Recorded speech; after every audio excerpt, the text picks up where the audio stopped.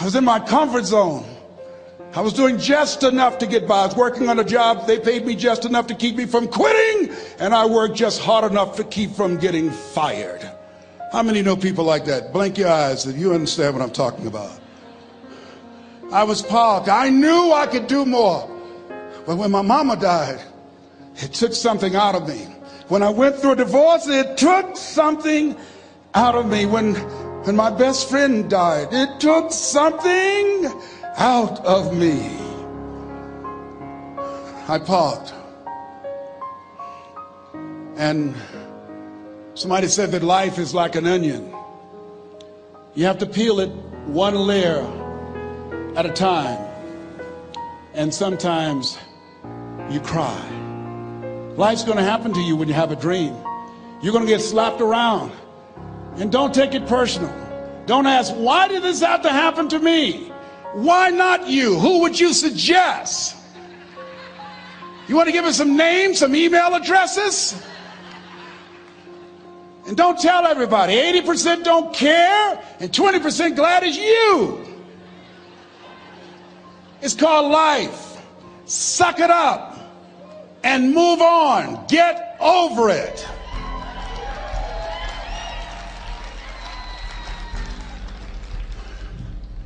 It happens to everybody. Here's the other thing as you look at your goals and look at your dreams. When you're going through some stuff, repeat out to me, please. When things go wrong, don't go with them. Yes, write that down. When things go wrong, don't go with them. When you're working on a business deal, you're counting on some money. Someone said you will get the loan and it falls through. You have an event and the people that you thought would be there and support you, they don't come through. Or someone turns against you or you get ripped off. It's going to happen to you. Happened to me. Someone stole all my products. My database, over 180,000 names and addresses. It's not personal. It's going to happen to everybody. It does. Eight out of 10 millionaires have been financially bankrupt. Walt Disney had seven, he filed bankruptcy seven times and had two nervous breakdowns. It's called life.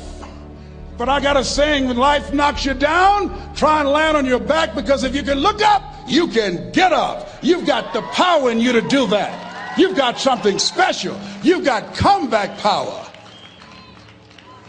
Here's the other thing. Let us say together, it's possible. It's necessary. It's me. Yes, write that down. It's me. Take ownership for your life. Nobody can live your dream for you but you. Nobody's going to take care of your business like you. Stop coming up with excuses. Don't give yourself permission to continue to live a small life. You can't fit a big dream into a small life. Give yourself permission to go for it, to test yourself, to challenge yourself, to live full. Like the saying, always strive to get on top in life because it's the bottom that's overcrowded. The reason you're here is because there's something in you that says, I can do more. This just can't be it. There's something in you, there's a calling on your life. There's something in your heart that caused you to get dressed and, and spend the money to go to seminar after seminar and listen to message after message and speaker after speaker because there's something in you that tells you this is not it for you. You have not peaked here. There's more in you that you are expressing. Eye has not seen, ear has not heard, nor has entered the man, heart of mankind what's in store for you if you challenge yourself, if you persist and persevere, if you take ownership for your life. George Bernard Shaw said the people that make it in this life, they look around for the circumstances that they want, and if they can't find them, they create them. Create what you want. You have the power in you to do more than you can ever begin to imagine, to control your destiny, to make a difference in our children, to make a difference on the planet, to make an impact. Let us say together, it's me. And let us say together, it's hard. Say it like you know it. Say it's hard. Ladies and gentlemen, it's hard. There are people who have seen their retirements taken away from them by the corporations that they work for. They were within two or three years of retiring, and they had it taken from them. The number one entrepreneurs in this country now are senior citizens. The number one employer, number two, McDonald's and Walmart. And there's nothing wrong with those jobs. I guarantee you those people did not have a plan to end up living their lives at the end of life with those types of jobs. And they didn't have a plan like you have, and while you're investing in yourself, not to. And it's hard. There are people making choices between purchasing prescription drugs or paying for gas or a mortgage note. It's hard when you're working on a job for 20 years, 30 years, give them some good years, and then they come in and tell you, we've downsized. In other ways, other words, you're fired. And then you have to start all over again. How many of you know it's hard? Raise your hands, please. It's hard. And it's not fair. One of the things I like about T. Harv is he talks about work and investing in yourself. It's not fair when people are going up against that kind of stuff to tell them just think positive and be enthusiastic and everything will work out all right. Ain't that kind of party. It's hard. Life will put some knots on your head. I bought my first home for my mother. I was rushing, didn't know what I was doing, and I bought a home that had a lien against it. And they called me, Mr. Brown, yes, there's a lien against your property. We need $55,000 if you're going to stay there. Wait a minute, sir. I just bought this home. The guy told me there were no liens against it. I'm not the one that owe you the money. You should have checked that out, Mr. Brown. Come on. I called my attorney. We followed up. Yes, Les, there's a lien against the property. But he told me there were no liens. He lied, obviously. Oh my God. He told me he wanted to help me because he admired the fact that I was buying this home for my mother and that he was adopted and he, he identified with me. Les, he suckered you. He played you, man. So what? Well, would they take payment arrangements? Can I? What about $5,000 a month? They want all the money, Les. They want all the money, or you're going to have to get out. The house is going up for sheriff sale. Do you have it? No, I. I don't have them. Can they give me some time? Tell them to give me, give me three months, please. Give me three months. I, my mother's in her 70s, man. She has a bad heart. Don't do this to me. This is my dream. Don't do this, man.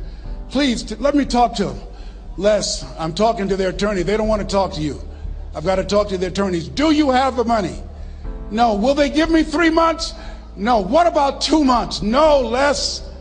They want the money in seven days. Oh my God. Uh, let me call you back. I'm not sure.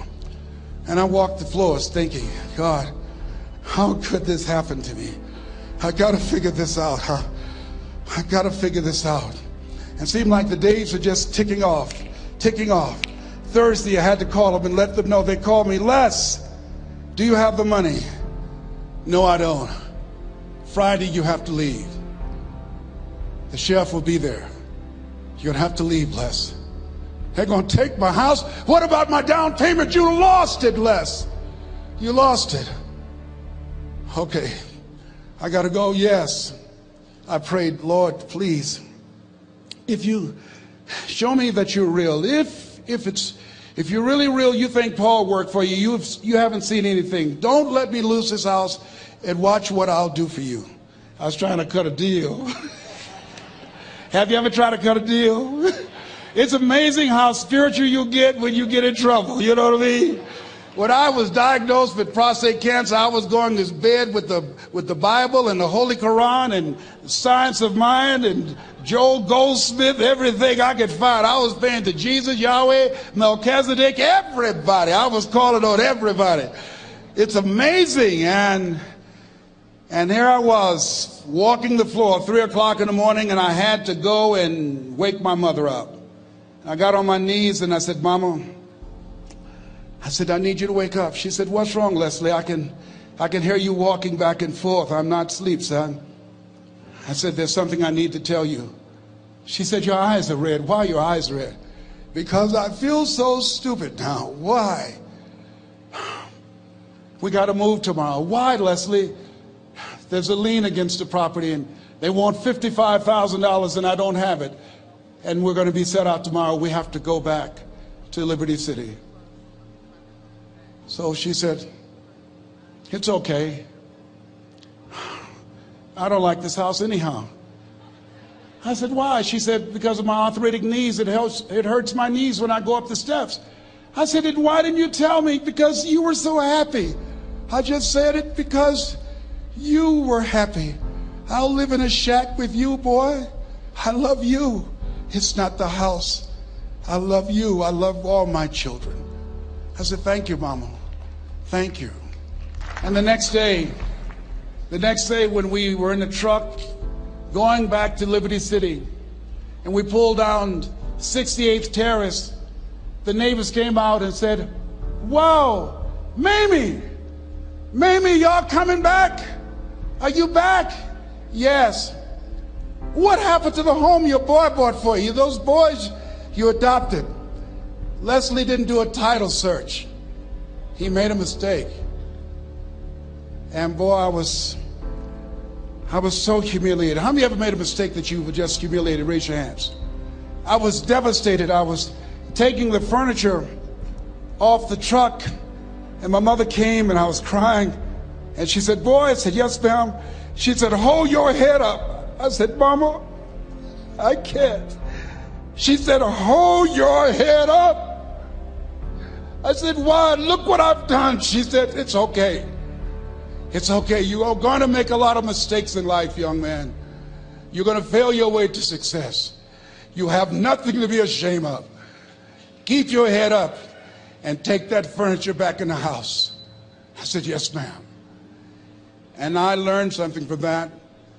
If you ever go through something, hold your head up. If you ever make a mistake, hold your head up. If you ever do something and everything goes wrong, life catch you on the blind side, hold your head up. It's not over. Goethe said, that which does not kill you will make you stronger. Hold your head up. Shake someone's hand on your right and left and say, hold your head up.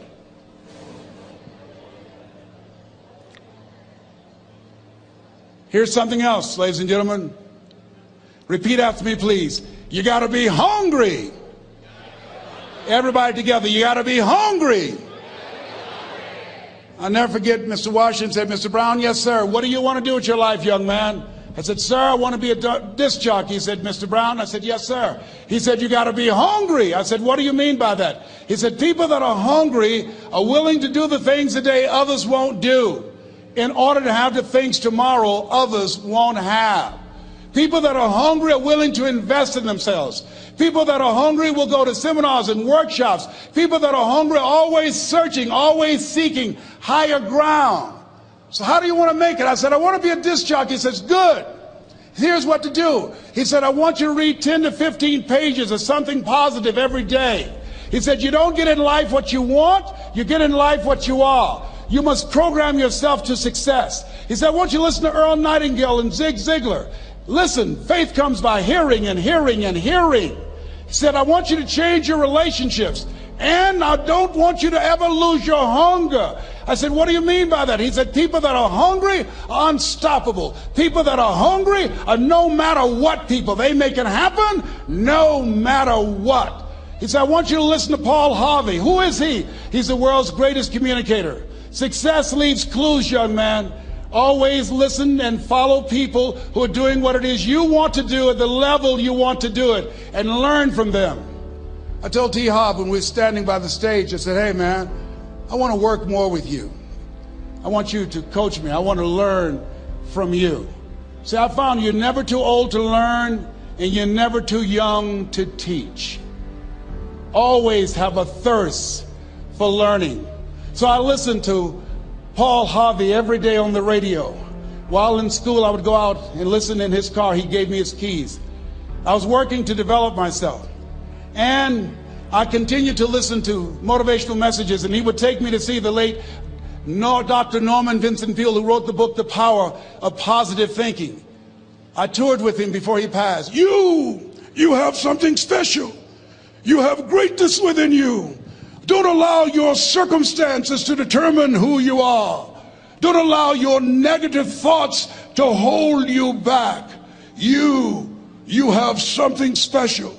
You can do more than you can ever begin to imagine. Dr. Peale was an incredible man. I, I admired him when he spoke. He gave me goosebumps. I can feel him in my heart. And, and I never forget, we were coming back to the school and Mr. Washington said, Mr. Brown, yes, sir. When Dr. Peale spoke, you didn't move. When he spoke, you were hanging on every word. When he spoke, we didn't have to tell you to sit down and be quiet. Why? I said, sir, I could, I could feel him when he talked. I felt like he was talking to me, sir. He said, he was. I said, but he doesn't know me, but he was speaking to you. Did you feel him in your heart? I said, yes, sir. He said, most people feel him in their head. If you felt him in your heart, he said, listen to him, son. Follow him, learn from him. And I would go to seminars and workshops. Anywhere I would find where Dr. Peale was, I would be in the audience. I would drive two and three hundred miles just to hear him speak. And my dream and vision was, was to share the stage with him. I thought about it. What is your goal? What is your vision? I want you to hold it in mind. There's some power in that because when I became involved in speaking, I never forget, I got a call from Og Mandino, who wrote the book, The Greatest Salesman in the World. He said, Les, I'm stuck in Philadelphia. I need to be in Kankakee. Dr. Norman Vincent Peale is appearing. I can't make it. I heard you're in Chicago. I said, yes, I am. Can you go and open for me? I said, yes, man. Oh my God. Dr. Peale, I said, yes, I'd love to do it. And I went there and I came. I said, hi, I'm I'm Les Brown. He said, You're not the band of renown? I said, No, I'm, I'm Mrs. Mamie Brown's baby boy. I'm here to speak. He said, Come backstage. And his wife, Martha, was there. And she said, Papa, Les Brown is here, the speaker. And he said, Les Brown?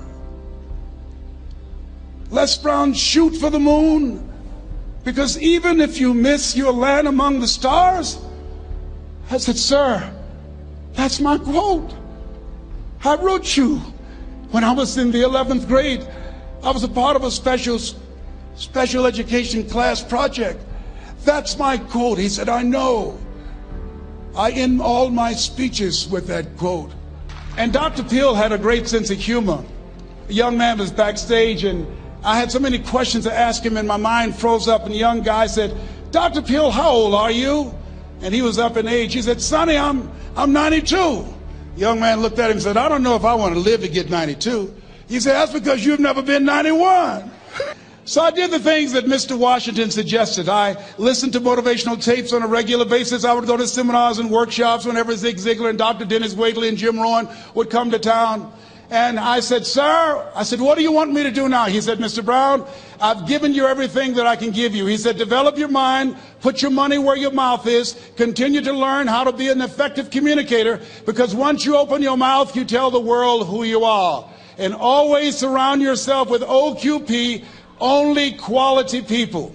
So I went to apply for a job on Miami Beach. WMBM radio station. Milton Butterball Smith was the program director. Hello, Mr. Butterball. How are you, sir? My name is Les Brown, sir. I'd like to be a disc jockey. He said, young man, you have any journalism in your background? I said, oh, no, sir, I don't. You have any experience in broadcasting? I said, no, sir, but I practice all the time, sir. Let me audition for you, sir. Let me show you how good I am. All I need is a shot, sir. He says, no, we don't have any job for you. How many ever been rejected? Raise your hands, please. I was devastated. I went back and I told Mr. Washington, I said, Mr. Washington, they said no. He said, don't take it personally. Most people are so negative, they have to say no seven times before they say yes. He said, you got to be hungry. Make no your vitamin. Go back again. I said, yes, sir. Hello, Mr. Butterball. How are you, sir? My name is Les Brown, sir. I like to be a disc jockey. Young man, weren't you here yesterday? Yes, sir, I was. Didn't I tell you no yesterday? Yes, sir, you did. Then why are you back today? Well, sir, I didn't know whether or not somebody was laid off or somebody was fired, sir. Nobody was laid off or fired. Now get on out of here. I came back the next day. Hello, Mr. Butterball. How are you, sir? My name is Les Brown, sir. I like to be a disc jockey. I know what your name is. Weren't you here the last two days? Yes, sir, I was. Didn't I tell you no the last two days? Yes, sir, you did. Why are you back? Oh, sir, I didn't, I didn't know whether or not someone got sick or someone died, sir. No one got sick or died. No one was laid off a fire. Now don't you come back here again. I came back the next day talking loud, looking happy like I was seeing him for the first time. I said, hello, Mr. Butterball, how are you? He looked at me with rage. He says, go get me some coffee. I said, yes, sir. My favorite book says, the greatest among you will be your servant. How many of you are serious about your goals and dreams? Raise your hands. Very good. Write this down. Provide more service than you get paid for. Provide more service than you get paid for. I go to a lot of seminars and workshops. And one of the things I know about T. Harv Eker, when I was sitting in the class with Robert Riopel and all of the other presenters, they hold themselves to high standards and they provide more information than anybody else in the industry, bar none. They hold nothing back because their commitment is for your success. And when you hold yourself to high standards, write this down impact drives income. That's why you're here. Because the training, the seminars, been making a difference in your life. If there did not have impact, two or three hundred people would be here, if that amount. Impact drives income. So I became the errand boy for the disc jockeys. I would go get their lunch and their dinner, and I would bring it to them in the control room, and I'd watch them working the control boards, knowing my time will come. Write this down. I expect to reach my goal. Yes, you want to operate with a spirit of expectation. I expect to reach my goal. So I started preparing for the next position. Never forget one quote that I heard. As you look at your life, you look at your goals and dreams. It's better to be prepared for an opportunity and not have one than to have an opportunity and not be prepared. If you expect to reach your goal, prepare yourself now. And so then pretty soon, the guys at the station, they begin to take a liking to me. Write this down. Build relationships. As you're aware, people deal with people that they know, like, and trust. And so they would say, Leslie, yes, sir. Come here, yes. Come outside. Who did this? Oh, your car? Yes. Who cleaned my car? I did, sir. I would wax their cars in the weekend, inside and out. How much do you charge? Oh, nothing, sir. I just wanted to help out. I was providing more service than I got paid for. I was building relationships. They said, Whoa, look here. Diana Ross and the Supremes are coming to town. The Four Tops and the Temptations. Here, here are my car keys. Pick them up for me. Take them to the Fontainebleau Hotel on Miami Beach. I said, Yes, sir. I would drive them all over Miami Beach in their big long Cadillacs. I didn't have any driver's license, but I was driving like I had some. Then one day, it was a Saturday afternoon. A disc jockey by the name of Rockin' Roger was drinking while he was on the air. It was a Saturday afternoon, and I was the only one there. Rockin' Roger got so drunk, he could not complete the show. He started slurring his words. He's about to fall off the chair. And there I was looking at him through the control room window, walking back and forth, young, ready, and hungry. I was saying, drink, rock, drink. Drink, rock. I'd have gone get him some more if he'd asked me to. Then pretty soon the phone rang. It was the general manager, and I answered the phone. I said, hello? He said, young boy, this is Mr. Klein. I said, I know. He said, Rock can't finish his program. I said, I know. He said, would you call one of the other DJs in? I said, yes, sir. I said to myself, he must be think I'm crazy. I called my mom and my girlfriend, Cassandra, I said, y'all come out on the front porch and turn up the radio. I'm about to come on the air.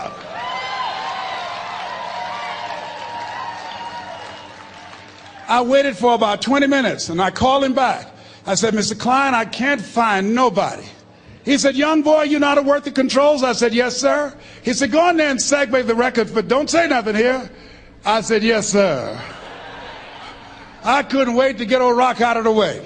I put on a fast record. I said, look out, this is me, LB Triple P. Les Brown, your platter playing papa. There were none before me and there will be none after me. Therefore, that makes me the one and only. Young and single and love Domingo, certified, bona fide, indubitably qualified to bring you satisfaction and a whole lot of action. Look out, baby, I'm your love man. I was hungry. I was hungry. Get old man a round of applause. I was hungry. I was hungry. You got to be hungry. Shake someone's hand on your right and left all around you and say, You got to be hungry. You got to be hungry. To get those dreams out of your head and step into your greatness, you got to be hungry. To get those ideas, that talent, that gift out of your system, you got to be hungry. To get up off the canvas of life and understand what Willie Jolly meant that a setback is a setup for a comeback. You got to be hungry. People that are hungry are willing to do the things that day others won't do in order to have the things tomorrow others won't have. How many of you got value out of what you've heard thus far? Raise your hands, please. Very good. I'd like to leave this with you. I don't know what your goals are. I don't know what you want to do. Here's what I know about you. You have greatness within you. Here's what I know about you. I can help you to live full and to die empty. I can show you what I've learned. If anybody told me that I would be doing what I'm doing now, I leave here today, I go to New Orleans and speak there, then I'll be flown to Barcelona. If anybody told me, given my circumstances, born in an abandoned building on a floor in a poor section of Miami, Florida, called Liberty City, both my birth parents stood up and said, hello, son, I would not know either one being labeled educable mentally retarded, put back from the fifth grade to the fourth grade, failed again when I was in the eighth grade, no college training. Anybody told me the principles that I would teach you, that they would have the impact that it has had on my life. This Les Brown that you see, I did not know he existed. And I tell you that you have greatness within you. You have the ability to do more than you can ever begin to imagine. Come into the room with me. And I guarantee you, your life will never be the same again. I like to leave this with you. I don't know what your goals are. Mine is to find a cure to autism. Mine is to find a cure to breast cancer and to prostate cancer. Mine is, is to work with our youth and to reduce the recidivism rate in our prisons and help young people learn how to become an asset to our society rather than a liability. Mine is, is to train speakers to become great communicators, to speak from their heart, not their heads, and teach them how to impact and create a new conversation so people can see the possibilities of life and overcome the possibility blindness that held me hostage for 14 years years. I don't know what your goals are, but here's what I know about you, and I don't know you. You've got greatness within you. And I like to leave this with you, something my mother used to love to hear me say. Leslie, yes, ma'am, mama. Say that thing for me, boy, that makes me feel good. I dedicate this to you, to the greatness in you, and to the dream that you showed up on the planet to produce. And it's simply this. If you want a thing bad enough to go out and fight for it, to work day and night for it, to give up your time, your peace, and your sleep for it. If all that you dream and scheme is about it, and life seems useless and worthless without it, and if you gladly sweat for it and fret for it and plan for it, and lose all your terror of the opposition for it, and if you simply go after that thing that you want with all of your capacity, strength and sagacity, faith, hope, and confidence, and stern pertinacity,